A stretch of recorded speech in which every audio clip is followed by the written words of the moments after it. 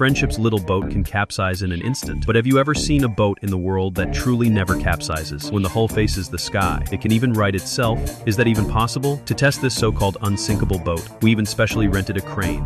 Then we completely inverted the hull 180 degrees to personally experience its powerful performance. I even specially invited a friend to sit inside. You can see that the upside-down hull quickly adjusted itself back. Such an incredible operation, but what is the principle behind it? First, this ship also has a resounding name. It is called the Son of Thor. The reason it can automatically self-correct is similar to a tumbler doll. The hull's center of gravity, like a tumbler doll's, is very low. Heavier equipment in the ship is also positioned centrally. This prevents the hull from tilting to one side, and when sailing on water, the ship's internal air system will shut down. This ensures sufficient buoyancy to stay afloat while sailing at sea if you happen to encounter rough waves.